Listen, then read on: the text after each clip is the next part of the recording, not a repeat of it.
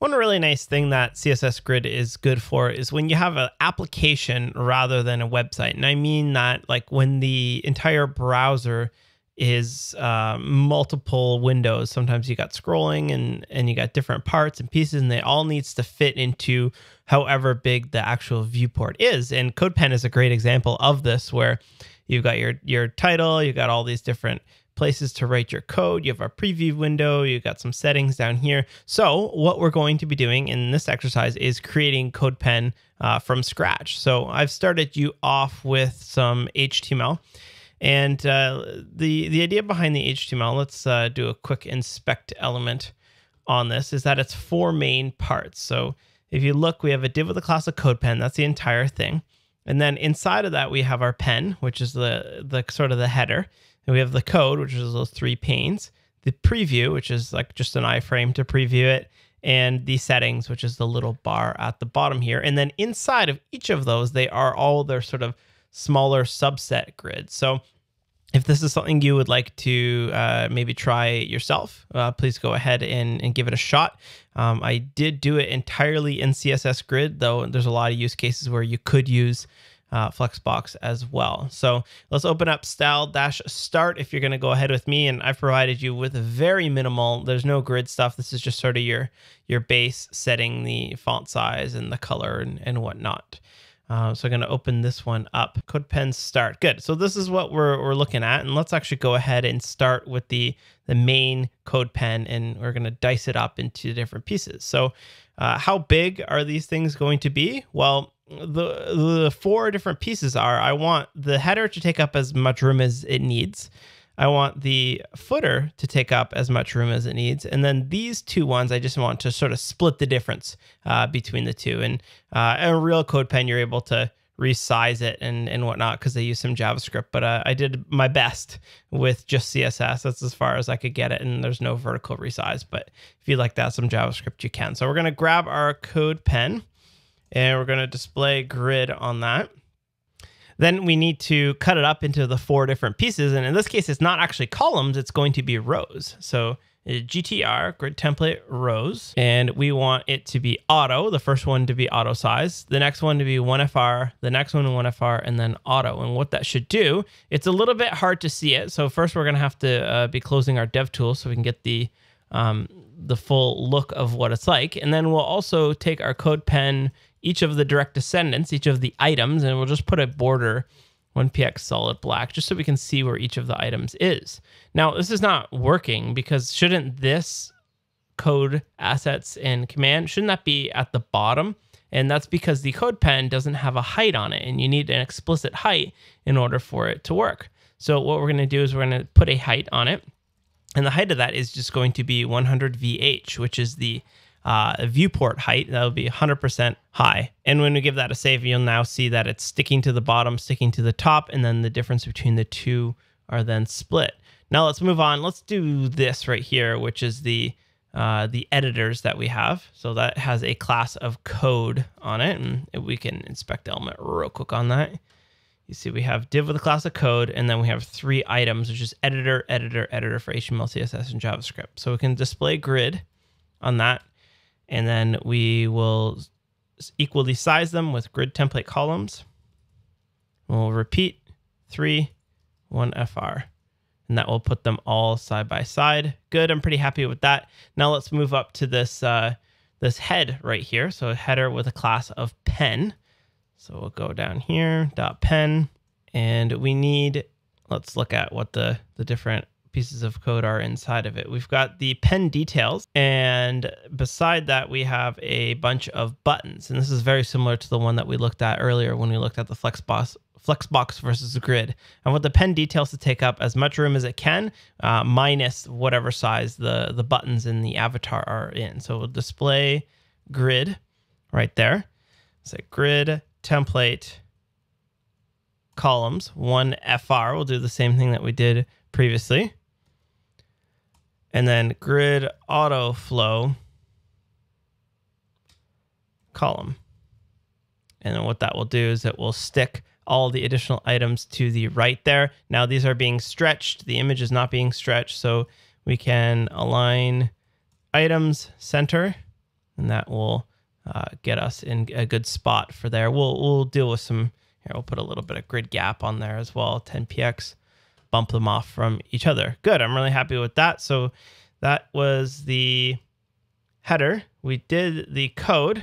Uh, the preview. We need. We've got an iframe in here. We want that to uh, sort of sp span the entire place. And all we need to do for that is preview, display grid. And by default, it will be one column by one column, and the default item is stretch, so there's nothing else that we need to do uh, for that specific one. Uh, and then the settings here is there's there's no need to do grid. So good, we just did the entire um, layout here by just saying grid three times and and uh, laying them out. Now let's go to get into each of the individual ones and and start working with it. So uh, let's start at the top here and, and start some styling on some amazing pen name. And that again, that is our pen. So I'll do background, black, border bottom, 5px solid, and the CodePen color is 343436. And that's actually a color we use fairly often. So let's put that into a variable called gray. And then let's go up to the top here on the root selector and set the variable gray to be that. Oh, did I spell it wrong?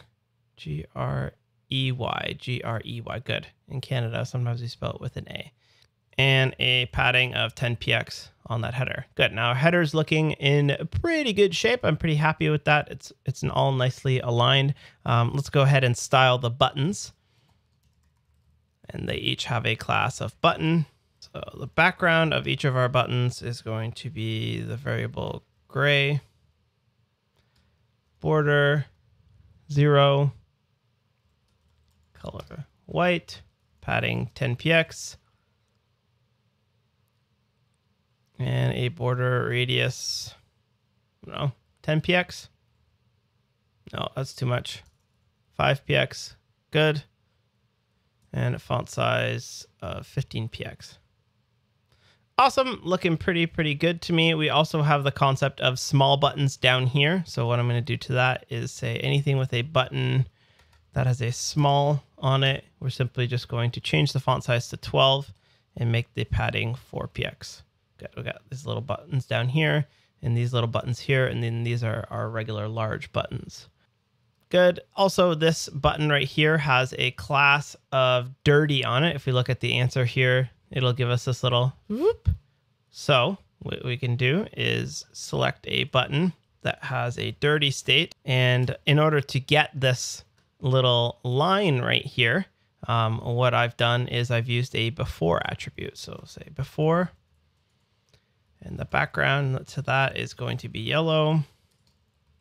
It's my yellow FFC600.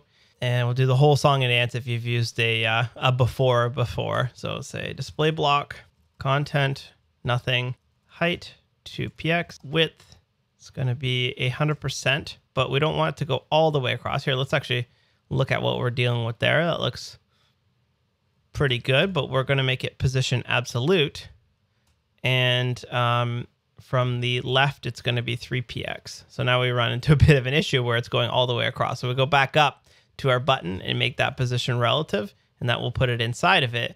But the problem is that if the button is 100% wide, then it goes all the way across.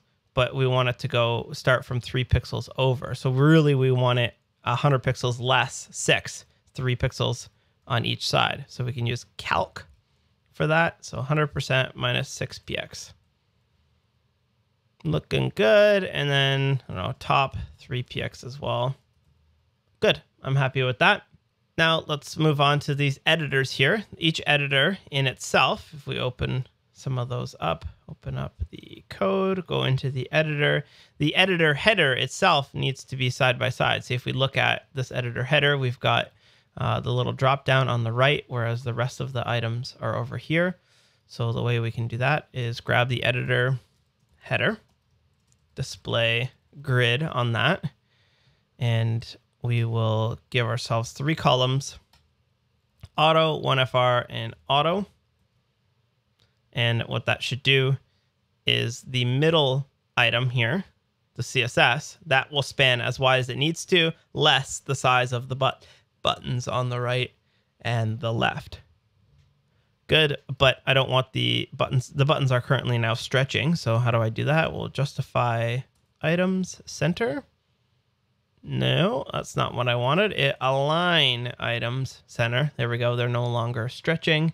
I'll put a little bit of padding on the header, 5px. Looking good. And uh, we'll also put some grid gap, 5px on that. Good. Now just a little bit of color. Background is going to be RGBA 0000.1. And what that's going to do is it's going to sort of see through whatever the actual uh, background of the editor is. So let's go back up to, maybe we'll put the selector with our editor so we don't get uh, too gnarly. Where did our editor? Oh, it's the code here. So editor, pen, header, put that in there.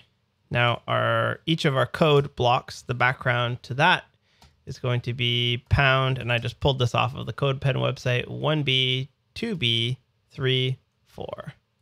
That causes this to be unreadable. Let's actually just go up to CodePen and just set the color to be white on that in general, and that'll make everything white. That's generally what we need happening rather than having to reset it on each one. Good. Now let's go to the editor, and that's each individual one. We have three editors, and of the editors, we have uh, editor header, and then we have this editor code, which should be the rest. And you see that it's currently not being as high as it should be. It should take up this entire space. So we need to now make the editor itself display grid. And we want the header to take up as much room as it needs. And then we want the code to take up the rest of the room. So say grid, template, rows, one or auto, that's the header, and then one FR to take up the rest. And that didn't seem like it did much, but if now if you hover over top of the header and the code, you'll see that they are now taking up the entire space. And then the editor code in itself also needs to be display grid because the child of the code, which is there is the gutter, and then there is the input. So those two things now need to, to go below each other. So editor code, that one will be display grid and the gutter is going to be very very small. And then the this text area is going to take up the rest of the area. So we'll say grid template columns auto 1fr starting to look good. Oh the reason why this one didn't uh, span is because i've been i was i was playing with it and then i, I set an inline width to it which is not what we want. So i'm just going to delete that and you'll see that it goes back and snaps to. The gutter is going to be as wide as it needs to be, um, and we're going to take these spans with the class of line number and we're going to make them block so that they go onto their own line. So we'll grab the class on each of those numbers, editor number, display block, and that should make them stack. And I believe put a little bit of padding on either side of that. Good. Now let's go to our editor input. This is a little text area that we have here. Has a class of editor input. We're going to make it resize none. Take off that little thing. Background, none. Border, zero. Color, gray. Make the font size 16. And line height, 25. I was just playing around with that. Whoa, PX, not not a multiple of itself. Oh, that's not that's not any good. You see, it's not lining up here. So I don't know. You probably have to. There's probably some scientific way to to line it up, but I'm just gonna cheat it. Ah, good enough. 19, yeah, 19 pixels looks good to me. So it's lining up. Uh, what else do we have to do here? I think, oh, we got this footer here. We're done. I think we're done all of the alignment stuff using grid. And I think that the last little piece is to uh, go down to this last little one, which is the settings. Go down here and say settings, padding, put a little maybe 10px on that. That's too much. 5px.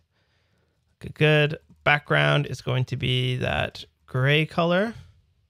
Good. No, that's the same color as the make it just black. Good.